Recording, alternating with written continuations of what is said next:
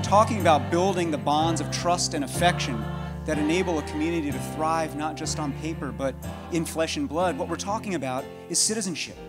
To build the power to change problems this great, we've got to swap this. That is what we want. We need to start rebuilding our citizen muscles.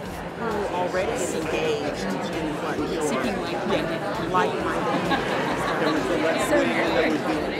Why do the politicians and the media figures want us to hate each other? Like it just seems to be pervasive. It's both sides of the aisle, right? If it wasn't for the work of organizations and activists who are working on the ground on these issues on a day-to-day basis, those are the real heroes in all of this.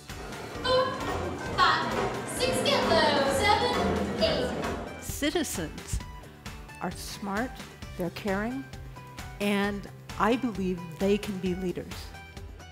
It's an incredible moment of opportunity to bring us all together to fundamentally reclaim care as an American value.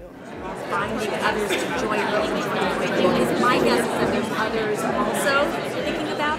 Why don't we ever talk about the fact that we're building, we're trying to build a multilingual, multi-ethnic, multicultural American economy that can compete in a flattening 21st century economy.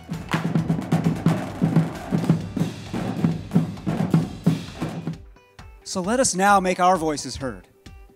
Please now stand. I pledge to serve and to push my country when right to be kept right, when wrong to be set right.